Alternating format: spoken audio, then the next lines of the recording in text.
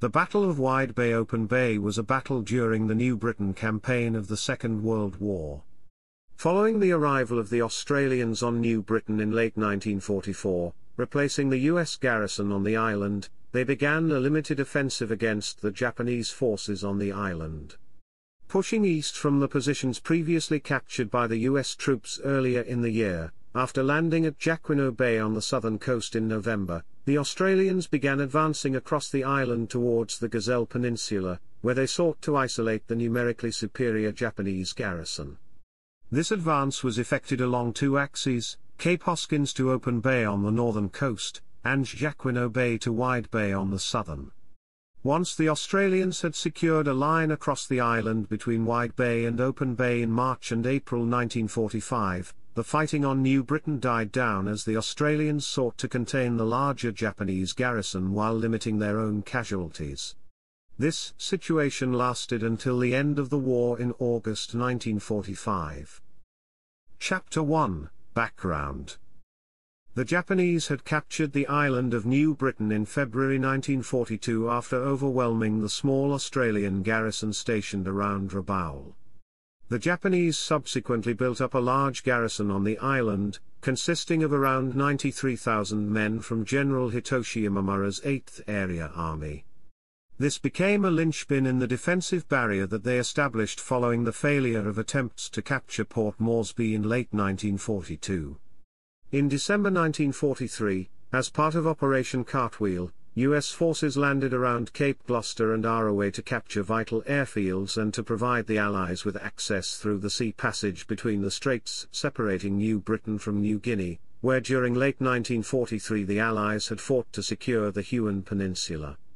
This formed part of the overarching Allied strategy of isolating the major Japanese base at Rabaul, as it had been decided that rather than destroying the base with a costly direct assault, a more prudent strategy would be to surround the base and therefore nullify it as a threat. Following actions by the 112th Regimental Combat Team and the 1st Marine Division around Arawe and Cape Gloucester, U.S. forces had advanced east cautiously, and by August 1944 had secured Talasea and Cape Hoskins on the northern coast.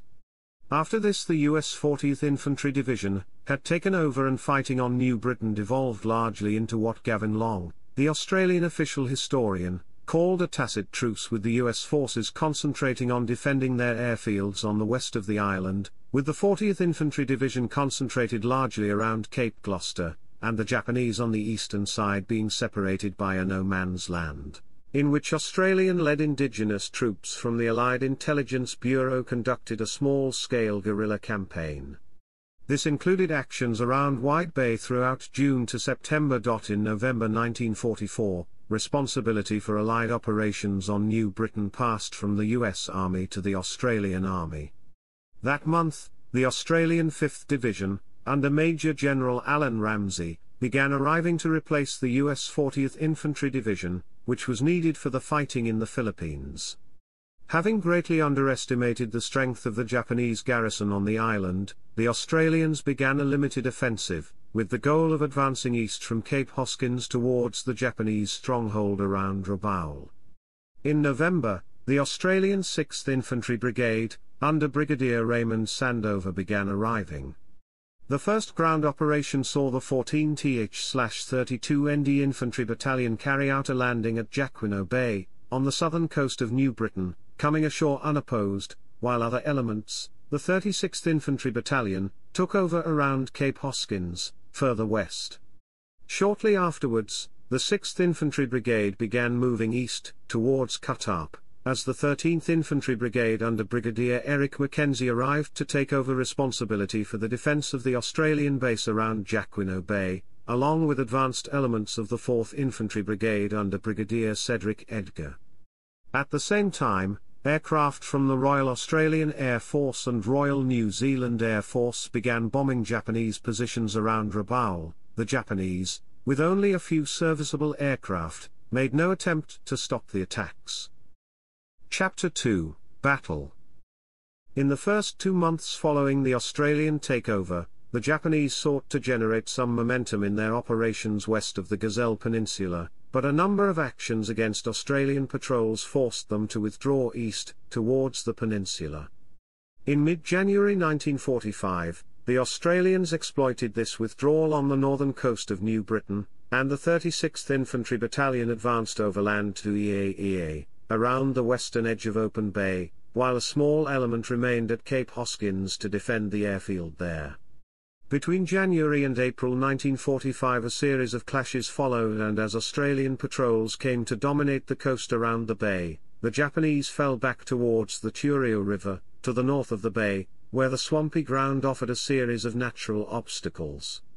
After advancing to Watu, in line with the western expanse of the bay, the Australians temporarily halted their advance. Along the southern coast, Royal Australian Navy Fairmile motor launches began patrolling towards Wide Bay shortly before the new year as Japanese submarines had been spotted elsewhere, particularly on the north coast around Open Bay.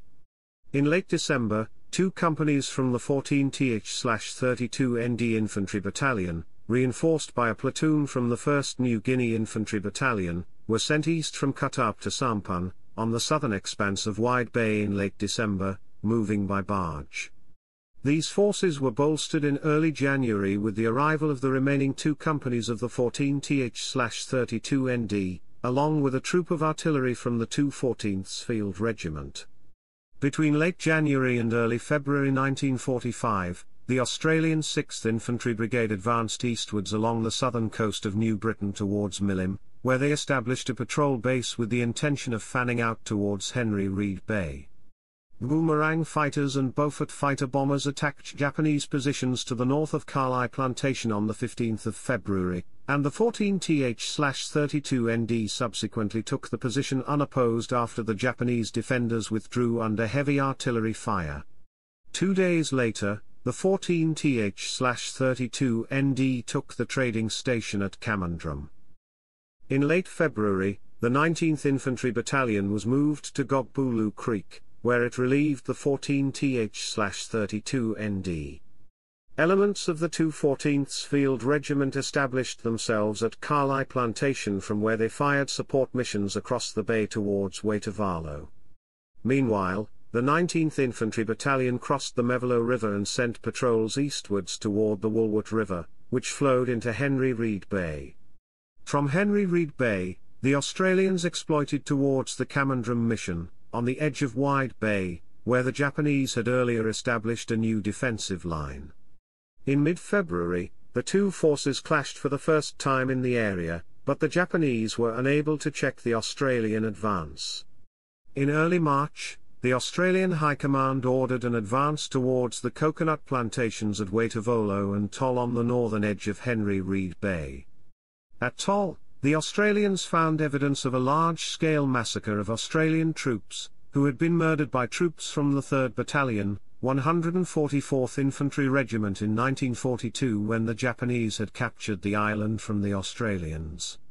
They subsequently exhumed 158 bodies. Following a crossing of the Woolwert River with engineer support, the 14th-32 ND Infantry Battalion took over from the 19th again, and from 5 March heavy fighting followed over the course of six weeks as the Australians reduced the fortified Japanese positions on Mount Sugi along a series of ridges west of the river and overlooking the bay.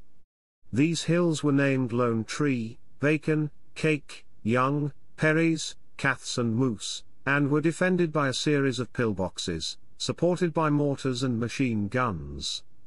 The most significant action was fought around Bacon Hill, which was captured on the 18th of March by the 14th-32 ND Infantry Battalion. The fighting during this period was made more difficult by heavy rains which made the going tough for the infantrymen climbing the steep slopes, while the jeep tracks below upon which the Australians relied for supplies became seas of mud, and the bridge across the Mevalo River was washed away. Japanese planes appeared for the first, and only time, in the campaign in mid-March, with two aircraft dropping several bombs on the bridge over the Woolwert, causing a number of casualties. After Waitavalo was secured, the 36th Infantry Battalion pushed inland and exploited further along the coast, investing Jama Bay. The 13th Infantry Brigade, elements of which had landed at Kalai Plantation in late March, subsequently took over from the 6th Brigade, and began patrolling operations on the southern coast, while elements of the 4th Infantry Brigade marched north in May. Chapter 3 Aftermath Following the fighting around Wide Bay and Open Bay, the Australian advance essentially came to an end, although limited offensive action continued up until the end of the war. They had effectively secured the island to the west of the Gazelle Peninsula, isolating the 93,000-strong garrison around Rabaul.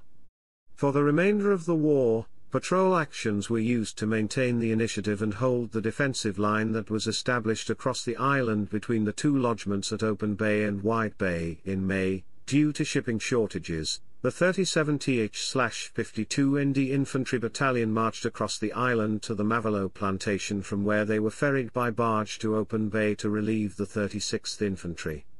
No further advances were attempted as the Allies focused their main operations elsewhere, such as Borneo and the Philippines. In addition, engineers worked to improve the road system around the secured plantations. Refugees from the Japanese-controlled area moved into the Wide Bay and Open Bay areas and were subsequently recruited by the Australian New Guinea Administrative Unit for labouring tasks.